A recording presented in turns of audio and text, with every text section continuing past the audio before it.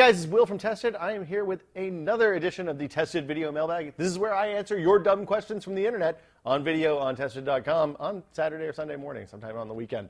So, uh, without any further ado, I'm going to get started and ask the very first question right now. Uh, this question says, Hey Will, what exactly are you using Dropbox for? I just finished listening to the podcast, and Matt, did Matt drop his whole audio side recording onto the service? I play around with audio recordings, and I know those things don't run small. Uh, actually, we do. That's one of the many things we use Dropbox for. We use Dropbox a lot for intra-office sharing. We don't actually have a file server set up in here, and when we need to trade files, we either have a couple of machines with open shares, or uh, we just chuck them up on Dropbox, and and you know it's the quickest, easiest way to share files amongst a bunch of people. Uh, so yeah, that's what we use Dropbox for. I, Matt puts his audio recording in, uh, art from inside and outside the building, freelancer stuff, all, all, sorts of stuff ends up in Dropbox. So it's a awesome service. Highly recommend you try it out. Uh, it's free for like two gigs. If you refer a whole bunch of people, you get up to another eight or nine gigs for free too. Or you can pay a pretty reasonable price to go up to 50 or 100 gigs of total storage. And then you can share folders with friends and coworkers and the like. The next question is about Macs. You mentioned that due to the way the OS works, Macs can slow down over time. I'm planning on using Migration Assistant to transfer my stuff from a two-year-old MacBook Pro to a new i5 MacBook Pro. Do I have to worry about any transferred stuff slowing down my new computer? Um, you know, it's a good question. I, I haven't done that many Migration Assistant transfers. It's one of the things I like about OS 10 is that the Migration Assistant actually works. It pulls your files across. It does everything you kind of would want it to do. I, I don't know... Um, I don't know if Migration Assistant's going to do negative things or not. I would ask the community and see what you guys think. Um, if you've experienced slowdown as a result of that, I do know that I brought my current MacBook Pro over, uh, my profile and all that over and the current MacBook Pro. It's fine. It, it, you know, it was a Migration Assistant profile, and it hasn't been that slow. So um, I, I haven't noticed any kind of slowdown. So there you go. My experience has been that no, it does not slow down, but I don't. That's not a definitive answer.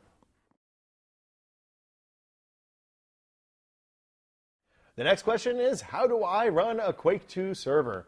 Uh, so running a server for an older game is a little hard. The good news is that hardware requirements are really easy because even the cheapest server online or a, a, like a bad old notebook will have enough juice to run an old game server, as our Quake experiment, Quake World experiment on TNT last night uh, showed.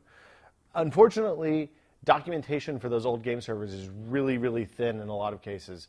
So, you know, in the case of setting up the Quake World server, I had to go back and dig through stuff on the Wayback Machine and on like 15 year old Planet Quake sites and stuff like that. It was a little bit tricky. Quake World, Quake 2 rather, should be a little bit easier. It's a little more modern. It was actually designed to run on Windows and Linux. It, there may even be a native OS, uh, OS 10 client for it. I'm not entirely certain. So, um, I mean, that's what I would say is, is just go out there, grab the software. It's going to be on ID's FTP site, which is just ftp.idsoftware.com. You can browse to it in a browser and it'll open up right. And, uh, and go for there. Go from there. Uh, just give it a try. The hard part is usually figuring out which ports to forward on your router, you know, to get past your NAT and uh, for, forward incoming traffic from the internet into the machine. So uh, that's it. I don't remember what the ports were on Quake. It was somewhere in 27,500 as I recall, but I think it's like 510 or 5, 27.6 or something like that.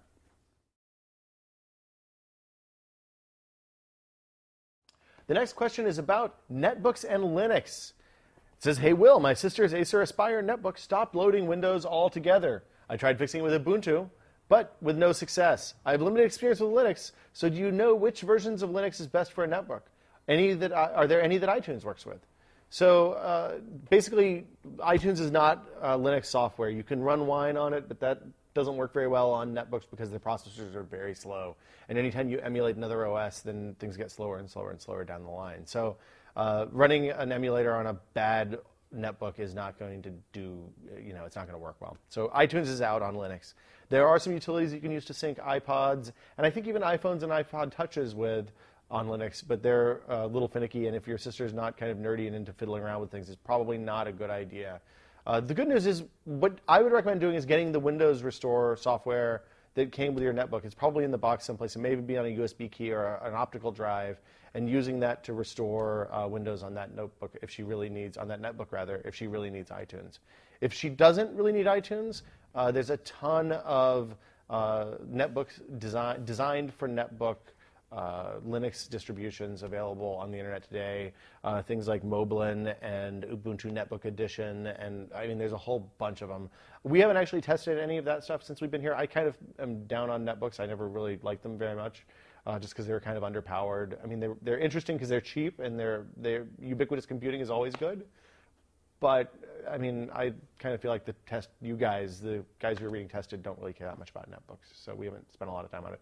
I know that Maximum PC has done a fair number of uh, stories about the different netbook OSs, and maybe you should check that out. Uh, or if anybody in the audience has suggestions, and post it in the comments.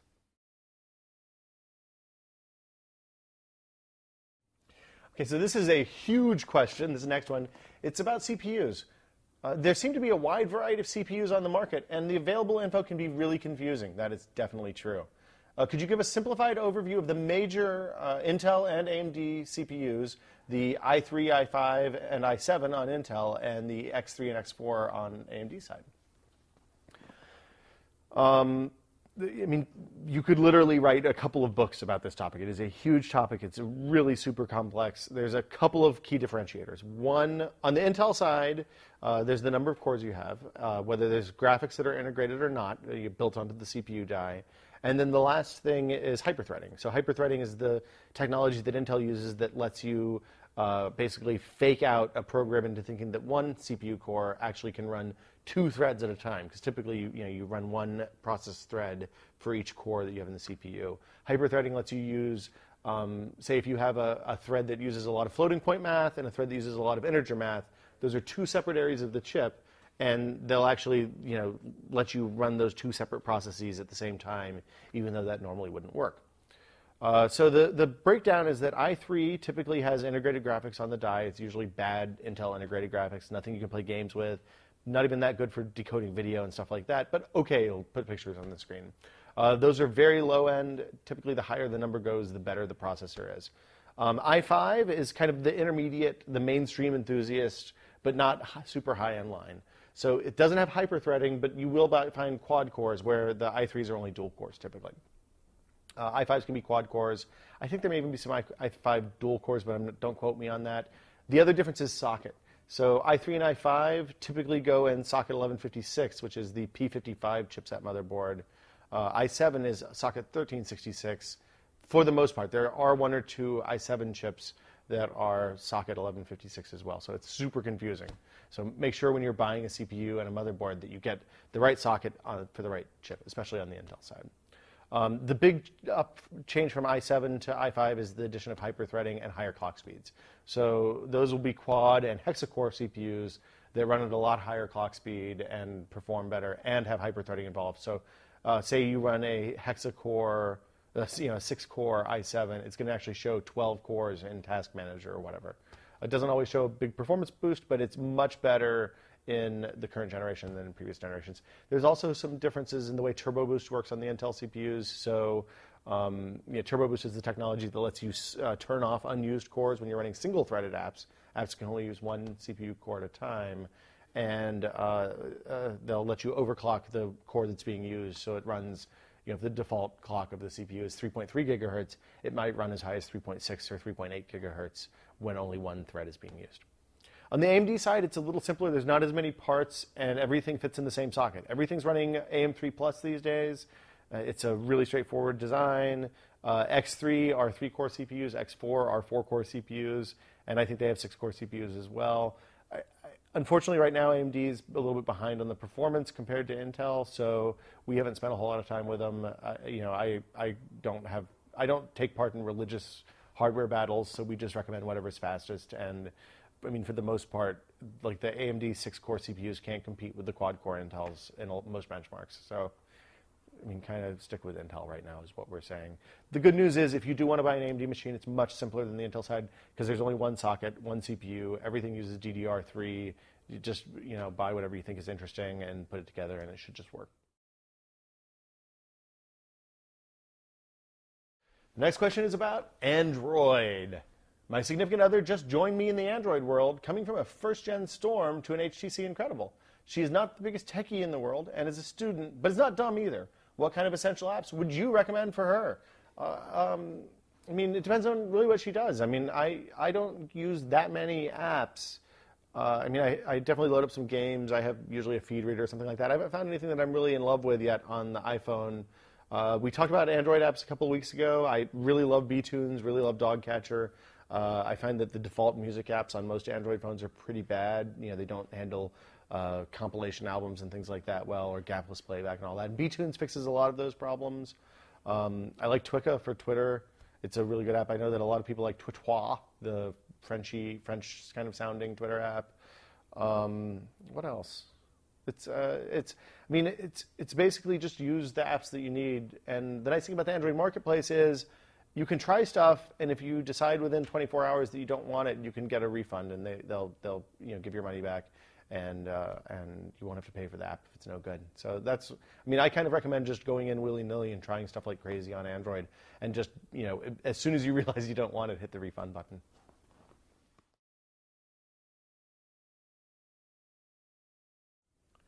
this is a geography question. Do you consider Half Moon Bay part of the Bay Area? You know, I, I, I kind of want to bring Norman for this one since he's a Bay Area native. Hey, Norm. Yes. Um, come over here for a second. Yes. Norm says the answer is yes. Half Moon Bay is part of the Bay Area. The answer is no. What? The answer is no.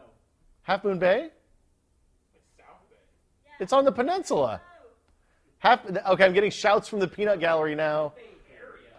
Yeah, it's on the peninsula. Bay Area is big. Yeah. Yeah. Berkeley, San Francisco, and Oakland. Well, I guess like What about San Jose? No. San Jose's Bay Area. What about Redwood City? It's on the bay. There's a lot of dissension. I think Half Moon Bay is in the Bay Area.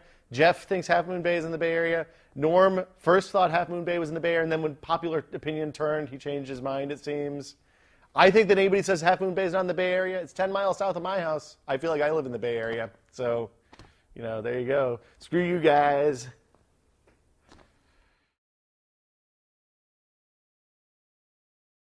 This next question is dumb, just really silly. I ardently believe that there's no good Chinese food places. There are no good Chinese food places in the East Bay area. Do I agree? I don't really know because I don't really go to the East Bay that much. Um, I'm not going to ask any more opinions from the Peanut Gallery because I thought there might be a fist fight on the last one. Uh, but I, I, I have had good Chinese food in Oakland before, so there you go.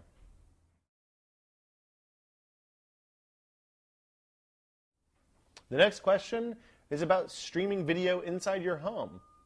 Uh, we just bought an Xbox 360 to stream things, I assume that means video and music, to the back room. I think it would be more efficient to get a streaming device instead. Any tips on a WT, WD TV, or should I wait for Boxee or something else, or Apple TV or iTV? Uh, this device must have Wi-Fi in it to reach back there. Thanks. Uh, I mean, we saw a whole huge rush of third-party streaming boxes like the WD TV, the Patriot box, the Asus box. Everybody made them because I think there was a basically an inexpensive chipset they could buy that came with software, and they could just put a box around it and sell it. Um, I mean, those are cheaper than an Xbox 360. They're not as functional. You can't watch Netflix on a lot of those, although that's definitely going to change in the next generation. I, I, I mean, if you have the 360, it's back there, it's set up, then then stick with that. The the third party boxes do have better codec support and things like that, so you can play codecs that won't work natively on the Xbox, like MKV and and some of the other more uh, popular codecs that are from the internet rather than from places you may buy or rip stuff yourself. Hey Will, I'm having problems with my wireless keyboard. When I play games, my character sometimes turns left for no reason. It's happened more than once and in more than one game. Should I buy a wired keyboard? What keyboard and mouse do you recommend for gaming? Um, okay, so this is really easy. Unless you're playing StarCraft and you're doing like 400 fi- actions a minute and you're crazy and awesome, you don't need a gaming keyboard. I use a Microsoft Natural 4000 ergonomic keyboard. It's just because I like that keyboard. I mean, if you don't want to spend a lot of money on a keyboard, go out and buy a $15 Keytronics keyboard from Fry's or you know, wherever your local screwdriver shop is. Mice, I do like to buy a kind of nice gaming mouse. Um, I like adjustable DPI so I can really get my sensitivity exactly right and get one-to-one mouse to pixel action, all that kind of stuff. Uh, for that, I, I mean, I like the the Logitech G9X. It's kind of expensive. It's like 75 80 dollars, I think, still. Uh, if you don't want to spend that much, the Razer DeathAdder is a great optical mouse. It's really inexpensive, and it's ambidextrous too. Or maybe they have left and right-handed versions. I can't remember. But it's a great mouse. Uh, it has adjustable sensitivity as well, and is uh, one of my all-time favorite mice. So there's two good gaming mouse options on the keyboard. Just buy whatever you like and what you think looks good and, and what is going to have good action. But stay away from wireless for gaming because it just it just can't keep up.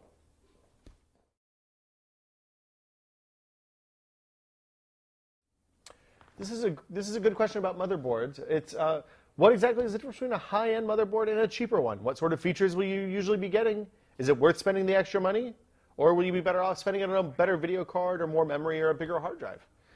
I mean, it really depends on what you want to do. A lot of the high-end motherboard features are specifically tuned to make overclocking easier. So you get more control over voltage on memory, CPU, uh, front side bus, or, or QPI, whatever your particular board uses.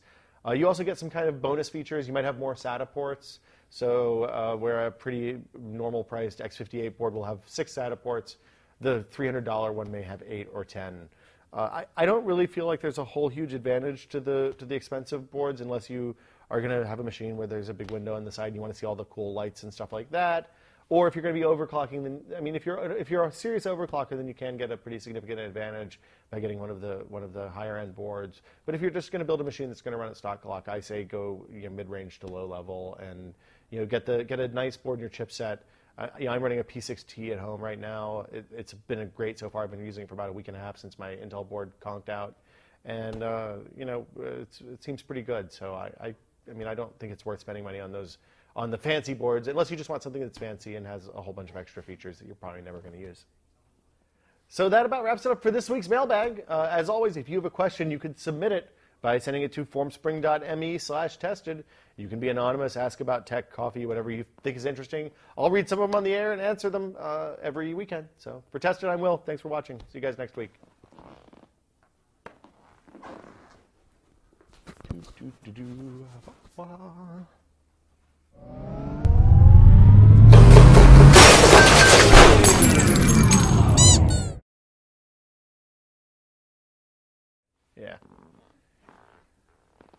Um,